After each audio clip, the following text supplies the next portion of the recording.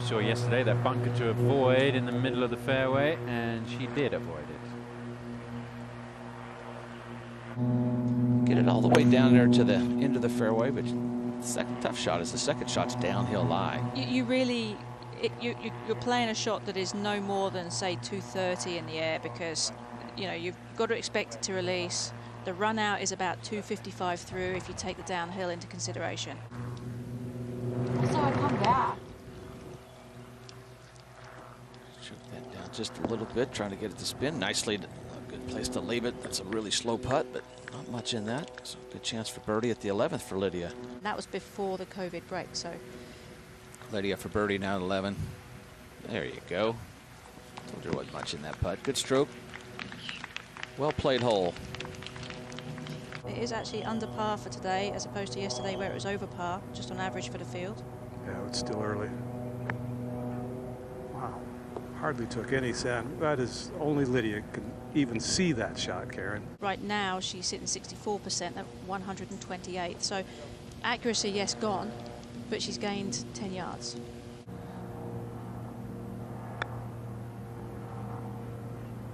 Pretty good.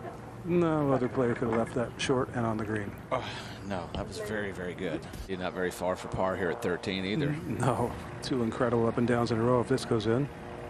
Mm. Of course it does. Yeah, when you got a short game like that, can make up for a little bit of wayward drives. However, it doesn't last long. It's fantastic. Lydia Ko just trying to work that magic again, going to the well with a short game one more time, and looky here. Doesn't it sound so good?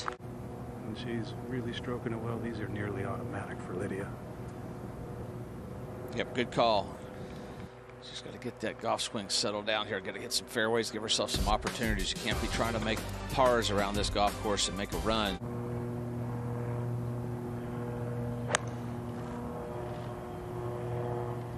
This one's on a really good line. Yeah, I'd say. Might Yeah, go in. It might perfect go in. line. Tap in. That's a quality iron shot.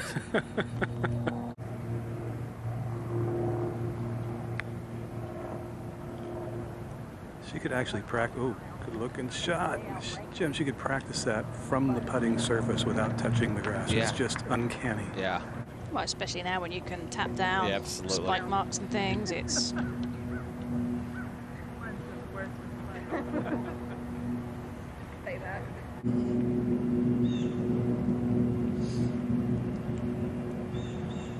it's a nice story. Austin Ernst met her fiance.